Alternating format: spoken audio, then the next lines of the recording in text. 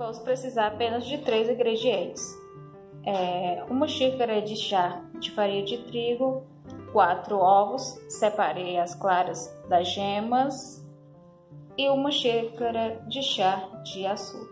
Vamos bater nossas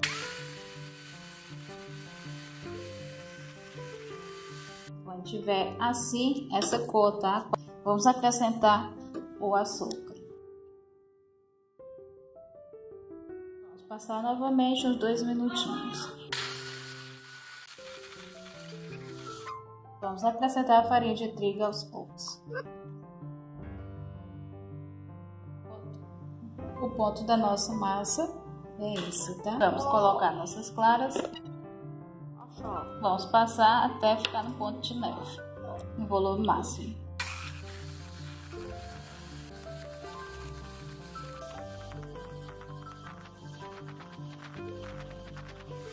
Esse é o ponto de neve, não cai mais, tá? Agora vamos misturar.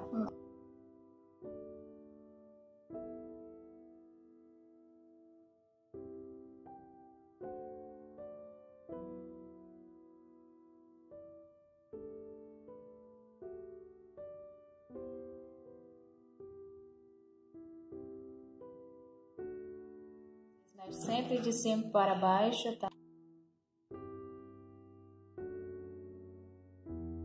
Coloquei o papel manteiga e vamos colocar.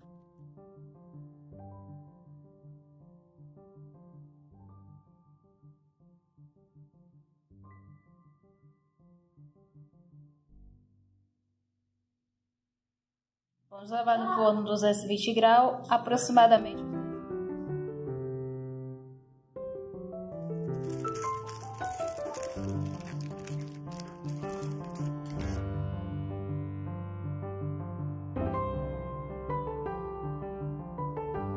Olha que delícia de bolo, gente.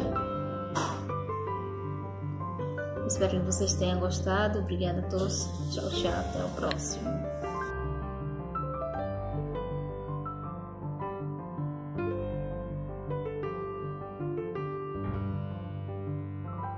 super fofinho.